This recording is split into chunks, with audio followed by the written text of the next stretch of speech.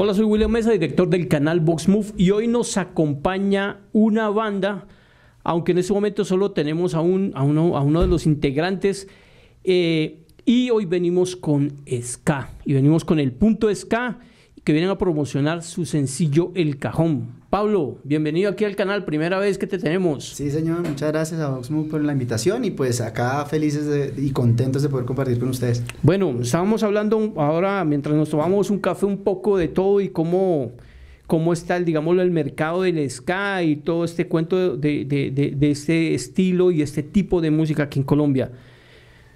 Vámonos un poco hacia atrás. Pablo, ¿cómo surge eh, tu gusto, tu pasión por el ska y quiénes fueron tus referentes. ¿Qué, ¿Cuál fue la primera banda ska que tú escuchaste y dijiste, wow, esto suena espectacular y es lo que me gustaría hacer? Yo, uy, digamos que me voy a volver un poquito antes de cuando yo tomé y decir quiero hacer ska. Y fue un día que, inclusive con, con, con mi señora madre, me estaba llevando al médico en el, en el, en el Seguro Social de la 26 con Caracas.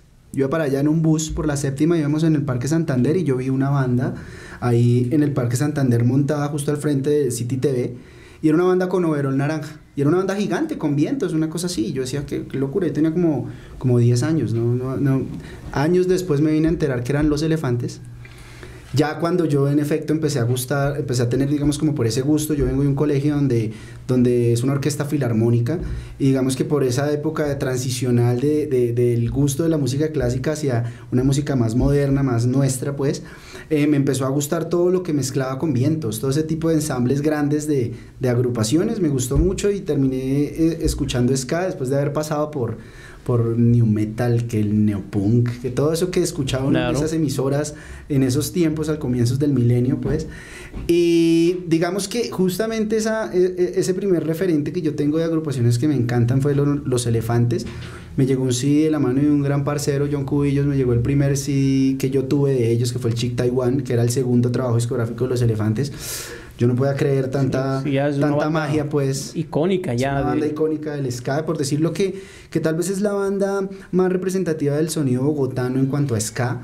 Eh, eh, representa pues todo una, un gusto y una cultura hacia la música jamaicana eh, única, casi siempre ha sido escala agrupación, casi siempre no, por, estoy diciendo mentiras, siempre o sea, se ha ido por esa misma línea y la ha mantenido. Por lo mismo, eh, el mismo público bogotano adora esa agrupación. Yo soy uno de ellos, hago parte pues de, de, esa, de ese club de fans de los elefantes de toda la vida. Y, y, tal vez son ellos, digamos, como los que me invitan también a, a, querer hacer música. Eh, es mi sueño, pues, de niño, el, el, hacerla, el, el, poder hacer música y poder compartirlo. Y así nace el punto ska en el año 2014, justamente por, por querer eh, explorar todos esos eh, esas eh, amalgamas pues que, que, que, el ska representa mezclado pues con otros géneros también como el como, como el rock como el jazz. Eso es tal vez como lo que más gusta, lo que más me gusta de ese género es que precisamente se puede mezclar con muchas cosas. Y a la vez que somos como mucha gente dentro de un proyecto de ska, eh, esos mismos gustos y apreciaciones artísticas y musicales se terminan convirtiendo como parte de esa, de esa escuela musical que, por lo menos nosotros representamos o que queremos representar a futuro y es eh, digamos como la base musical del ska, el reggae, todo, todo, todo pues la música que representa Jamaica, ¿cierto? Todo lo que nos apropiamos de ellos a nivel latinoamericano y pues nada, eso es el punto ska, es un sueño de niño que poco a poco vamos cumpliendo.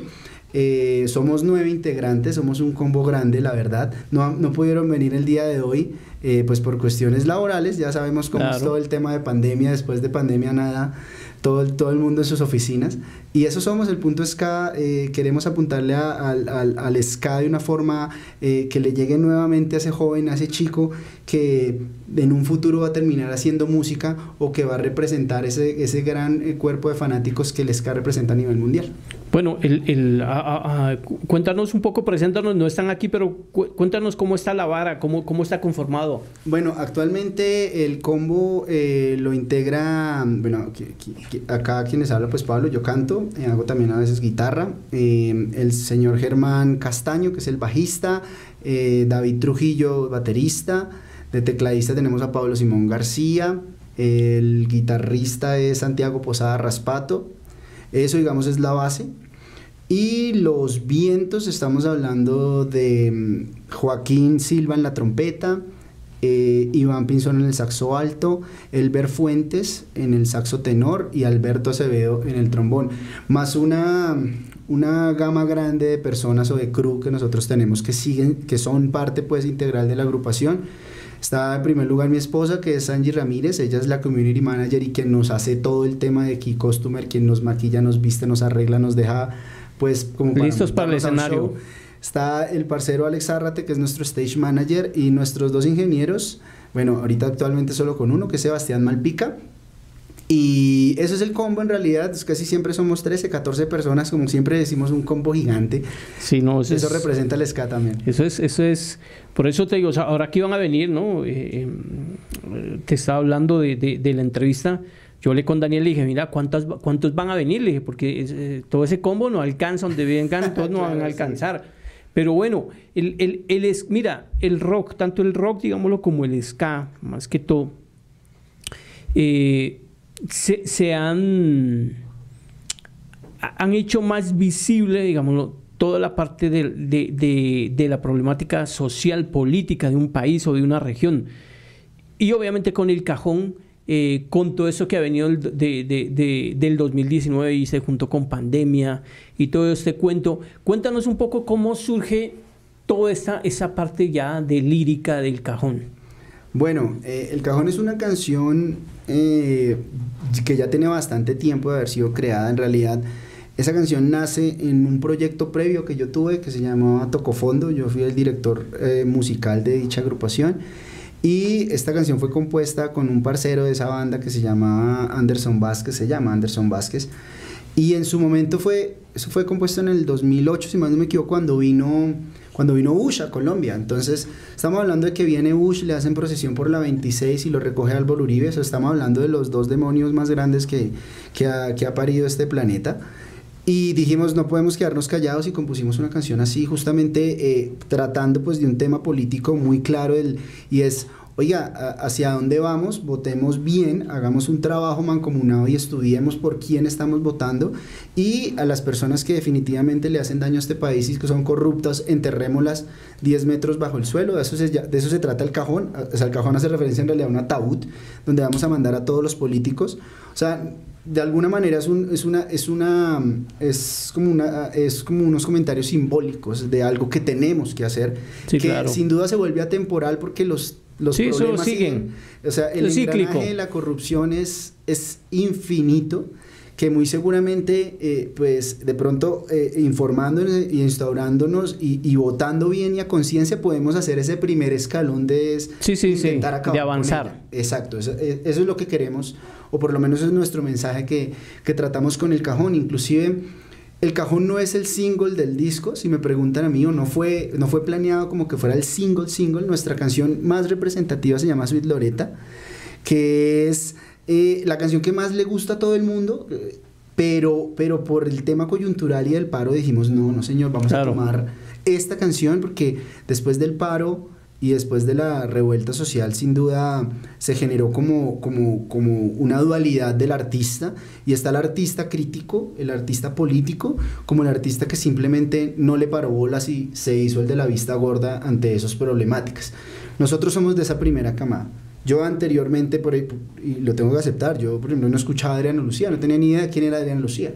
Pero después de darme cuenta de quién era Adriana Lucía en temas como artista político, es donde yo dije, ok, ya, me, ya, ya tengo que cambiar esa visión. Sí, porque soy yo también como artista y hacia dónde voy yo porque igual, ¿no? ¿no? No solo tú, o digámoslo, o cualquier artista de un género simplemente se basa y arma un círculo social musical alrededor de lo que a él le gusta. Exacto. Y, digo, y digo yo eso justamente porque, porque esos artistas que nos invitaron a hacer eso, hablamos también de Crápula, por ejemplo, que tomó justamente ese estandarte de lo que, de lo que significa eh, ser eh, un, artista activo políticamente.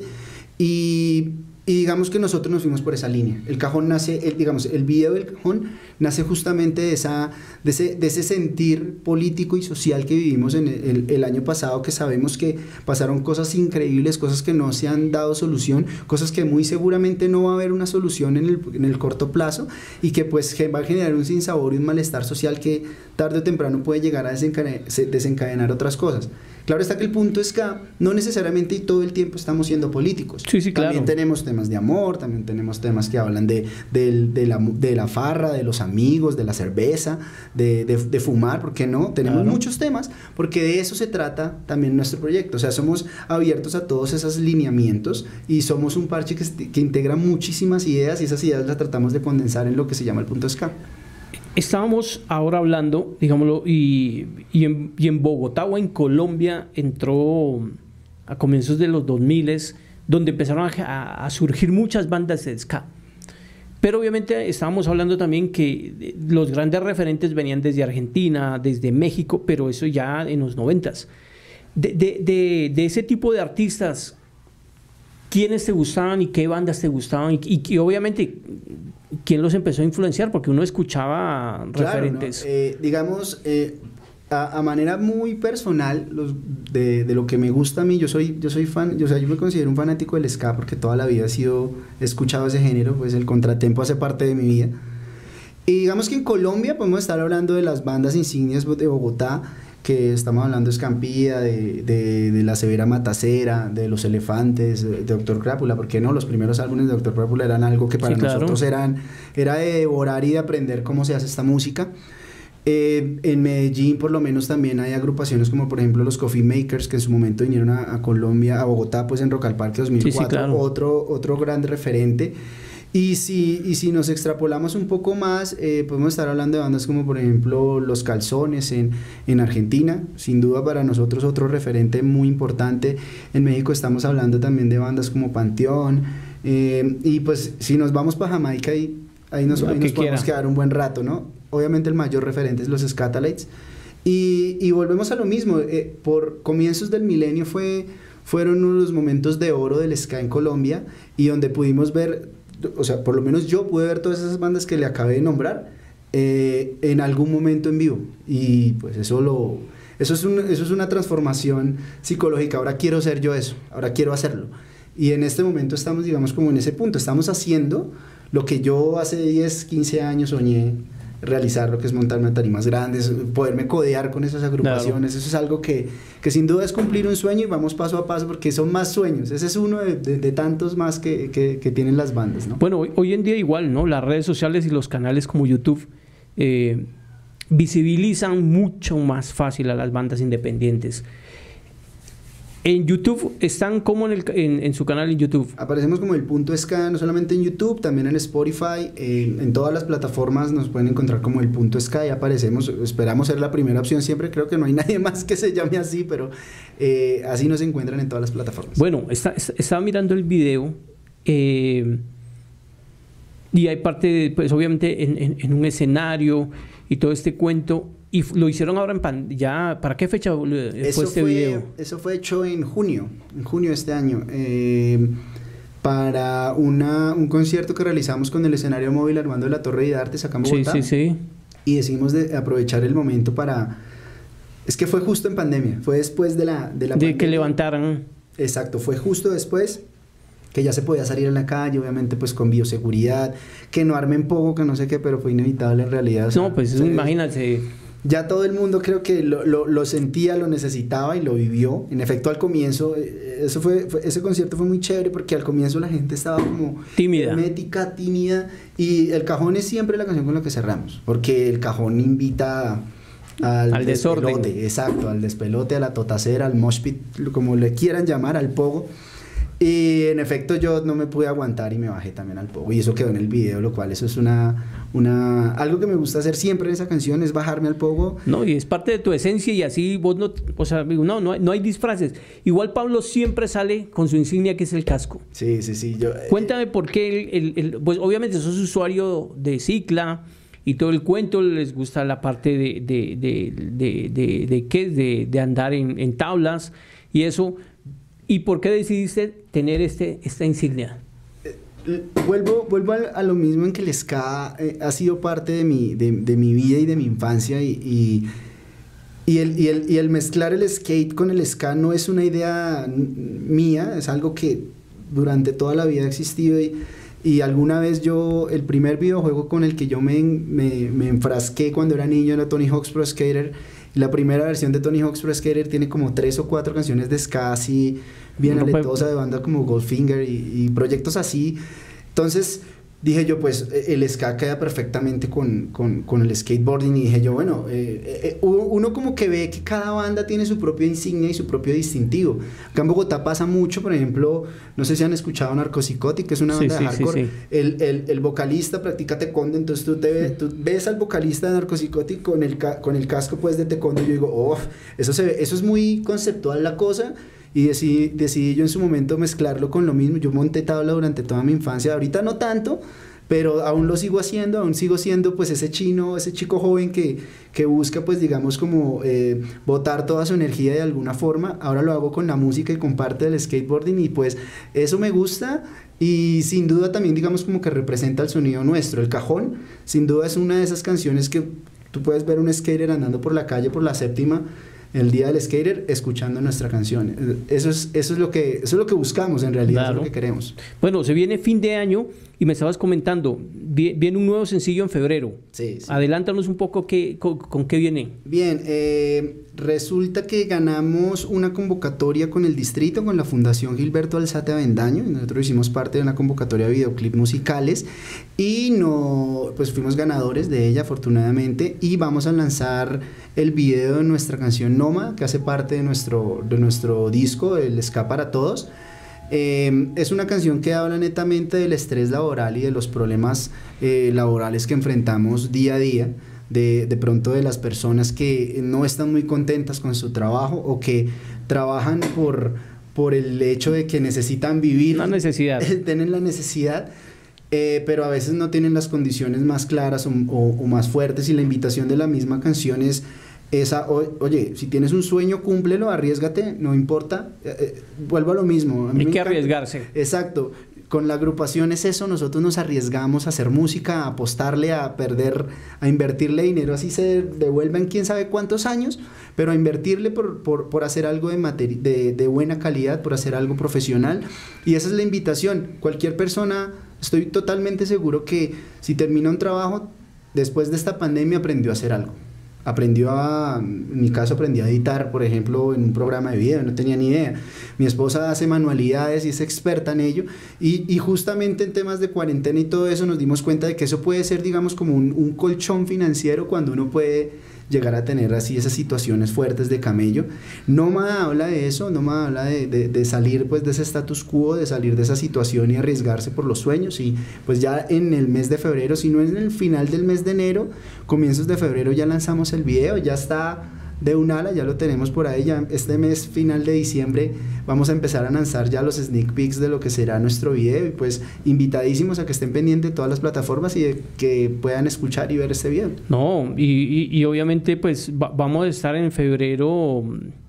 Eh, Acá sin duda. Sí, sí, la idea es volverlos a invitar y que nos vengan y nos presenten eso, pero vamos a estar pendientes de, de, de los avances y de lo que viene. Digo, el canal también se ha abierto a muchas bandas, eh, obviamente independientes y bandas nuevas, y uno encuentra muchísimo talento. Eh, obviamente esto es un océano impresionante de que uno va conociendo y hay de todo, honestamente, hay gente muy buena, hay intermedios y hay gente que uno dice, bueno, yo creo que tienen que replantearse lo que están haciendo porque pero, pero ah, me gusta, mi, eh, eh, o sea, estuve escuchando, estuve mirando lo que están haciendo y honestamente no los, no los había escuchado, porque te digo, o sea, hay muchísima información. claro, si me entiendes, hay muchísima información, pero de todos modos el canal está abierto, Pablo, bienvenido nuevamente aquí al canal. Y en febrero los esperamos nuevamente y obviamente ya ojalá puedan estar algo otros integrantes aquí en el canal para, para que tengamos una nueva entrevista y nos cuenten qué viene ya y en el 22 qué viene para el 22. Entonces, Pablo, nuevamente bienvenido al canal y a Punto Ska. Los esperamos tener muy pronto acá en el canal en febrero. Un, un, gusto y un abrazo. No olviden seguirnos en nuestras redes sociales como Canal Box Move. Pablo, nuevamente las redes. Eh, bueno, pueden seguir al punto SK eh, en todas las plataformas, Facebook, Instagram, Twitter, eh, nos encuentran así, el punto SK. Y los invitamos muy, muy, muy honestamente a que nos sigan en Spotify, y en YouTube, nos se suscriban, nos den like, nos escriban, nos comenten, absolutamente todo. Estamos apuntándole a, a esas dos plataformas en este momento. Síganos, escúchenos, esto es el punto SK, SK para todos. Ok.